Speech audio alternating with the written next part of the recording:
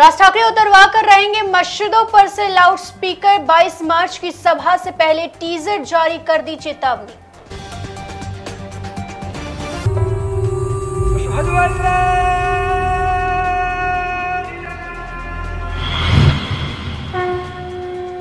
Loud speaker मशिदीवरचे खाली थी बंद।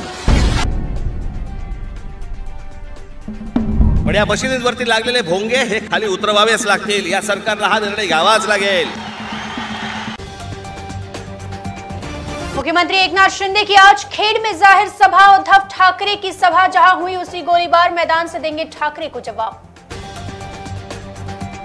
मीरा रोड में बागेश्वर धाम सरकार धीरेन्द्र कृष्ण शास्त्री के कार्यक्रम में भारी भीड़ से अफरा तफरी, कुछ श्रद्धालु घायल।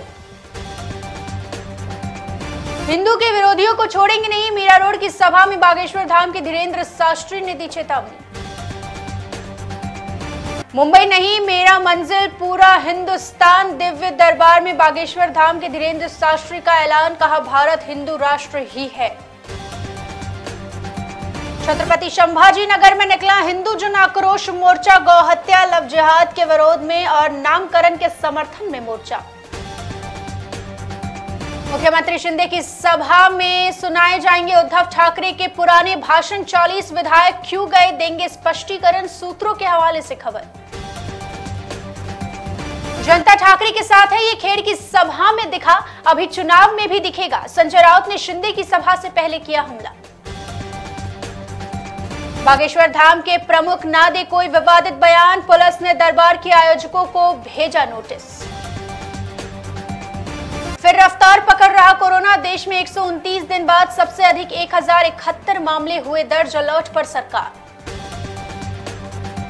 अक्षय कुमार की फ़िल्म के सेट पर हुआ हादसा। शूटिंग के दौरान किले से 100 फीट नीचे गिरा युवक निजी अस्पताल में इलाज चल रहा है।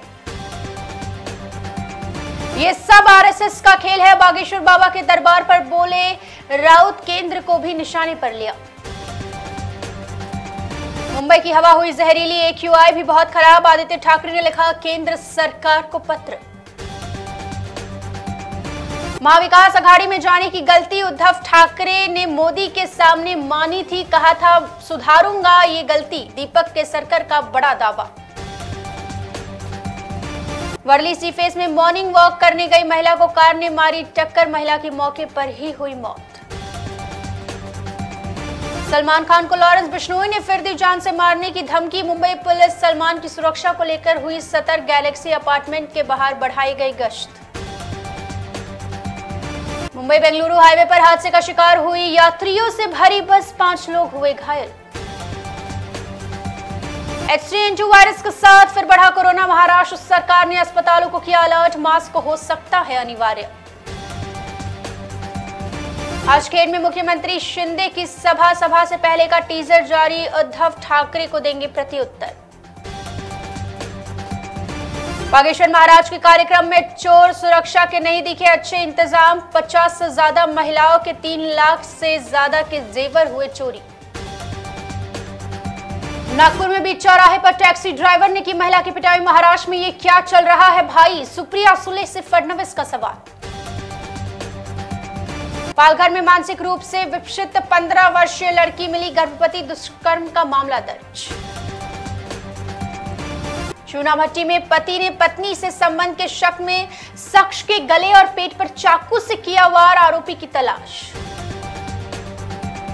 मुंबई में सोने और चांदी के बढ़े दाम, सोना साठ हज़ार तीन सौ बीस रूपए तोला, वही चांदी बहत्तर हज़ार सौ रूपए किलो। महाराष्ट्र के थाने में पुलिसकर्मी वन मोटरसाइकिल सवार को लूटा सीसीटीवी फुटेज सामने आने पर हुआ गिरफ़्तार।